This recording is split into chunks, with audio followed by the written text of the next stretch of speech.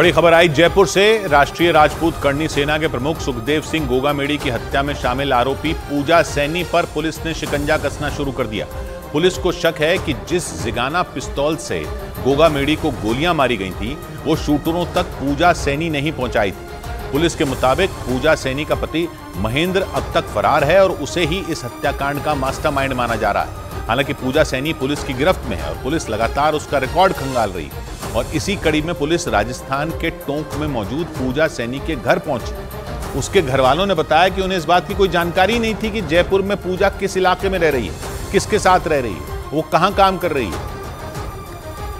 यानी गोगामेड़ी हत्याकांड की अहम कड़ी मानी जा रही पूजा के बारे में उसके घर वालों को कोई जानकारी नहीं थी।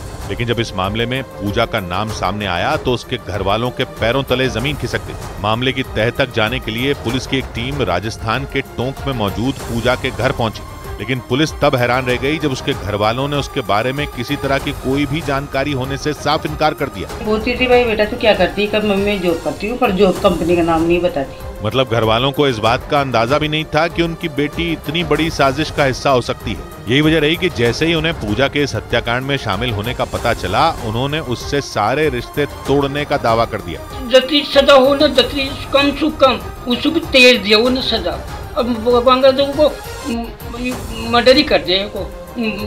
पुलिस गवर्नमेंट से आई निवेदन से। आरोपी पूजा सैनी के घर वालों ने यह भी बताया कि वो करीब पाँच साल पहले टोंक से जयपुर गई थी। बाद में उसने एयर होस्टेस की ट्रेनिंग लेने के बाद नौकरी करने की बात बताई थी। और पुलिस के मुताबिक उसने जयपुर में आकर महेंद्र नाम के शख्स से शादी कर ली। ये वही महेंद्र है जिसने दोनों शूटरों को हथियारों की सप्लाई की थी। पुलिस का मानना है कि महेंद्र और पूजा ने ही उन शूटरों तक जिगाना पिस्तौल पहुंचाई। और उसी जिगाना पिस्तौल से सुखदेव सिंह गोगा मेड़ी को छलनी कर दिया गया था। आरोप तो यह भी है कि महेंद्र और पूजा ने न सिर्फ़ शूटरों तक हथियार पहुँचाए बल्कि हत्या से पहले हफ़्ते भर तक उनमें एक शूटर नितिन फौजी को अपने घर में छिपाकर भी रखा।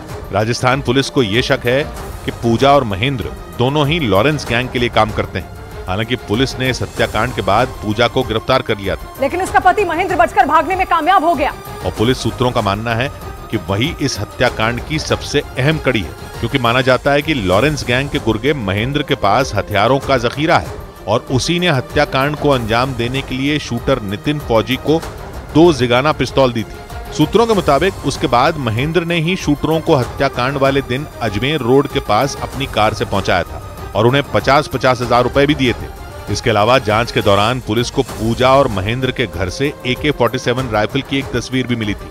शक यह है कि पिछले साल गैंगस्टर राजू ठेहट की हत्या के वक्त इस हथियार को जयपुर लाया गया था। और इसी वजह से पुलिस हत्याकांड वाले दिन से ही महेंद्र की तलाश में जुटी है, क्योंकि पुलिस सूत्रों का दावा है कि लॉरेंस गैंग का गुर्गा महेंद्र अपने मोबाइल फ़ोन से शूटर नितिन फौजी की गैंगस्टर रोहित गोदारा से बात करवाता था। जाँच में यह बात भी सामने आई कि हत्याकांड को अंजाम देने के लिए शूटर नितिन फौजी 28 नवंबर को ही जयपुर आ गया था।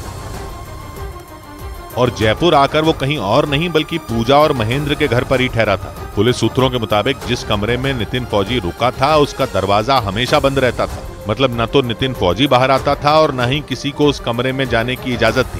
केवल पूजा ही थी जो उसके लिए खाना बनाती थी और फिर उसे कमरे में खाना देकर आती थी। यानी जिसका सीधा मतलब ये हुआ कि पूजा ये बात अच्छी तरह जानती थी कि नितिन फौजी को क्या काम सौंपा गया है। और पुलिस सूत्रों के मुताबिक उसे इस बात की भी पूरी खबर थी कि इस हत्याकांड में उसका क्या रोल होगा। दावा है कि पूछताछ के दौरान पूजा ने ये बात भी बताई थी कि उसका पति महेंद्र, शूटर नितिन फौजी की बात दुबई में बैठे गैंगस्टर रोहित गोदारा और उसके साथी वीरेंद्र चारण से करवाता था। और फिर उन्हीं के इशारों पर वारदात वाले दिन शूटर नितिन को कई पिस्तौल दिखाई गई थी। और पुलिस सूत्रों के मुताबिक उन तमाम हथियारों को देखने के बाद शूटर नितिन फौजी ने जिगाना पिस्तौल को चुना था।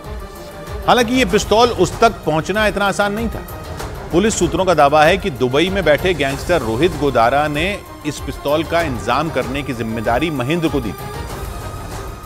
और सूत्रों के मुताबिक इस साजिश में हथियारों को शूटरों तक पहुँचाने के काम में पूजा भी बराबर की भागीदार थी। सूत्रों का दावा है कि हत्याकांड को अंजाम देने के लिए शूटर नितिन फौजी ने तीन जिगाना पिस्तौल महेंद्र से ली थी। इनमें दो पिस्तौल उसने अपने पास रखी और एक अपने साथी रोहित राठौड़ को दी थी। सिद्धू मूसेवाला और अतीक अहमद हत्याकांड में भी जिगाना पिस्तौल का ही इस्तेमाल किया गया था क्योंकि तुर्की में बनी ये पिस्तौल एक बार में बिना रुके पंद्रह गोलियाँ दाग सकती है। ये इतनी छोटी और हल्की होती है कि इसे आसानी से छिपाया जा सकता है। मतलब अगर कोई इसे शर्ट या फिर जैकेट के अंदर रख ले तो उसे भापना भी मुश्किल काम होता है। और माना जा रहा है कि इसी वजह से शूटरों ने जिगाना पर भरोसा जताया और सुखदेव सिंह गोगामेड़ी पर अंधाधुन गोलियाँ बरसाई। और इसी वजह से उन्हें संभलने तक का मौका नहीं मिला। हालाँकि भारत में इस पिस्तौल के इस्तेमाल पर बैन है। इसलिए पुलिस पूजा और महेंद्र का ट्रैक रिकॉर्ड खंगालने में भी जुटी हुई है, क्योंकि उसे शक है कि ये दोनों अवैध हथियारों के किसी बड़े गिरोह के संपर्क में भी हो सकते हैं।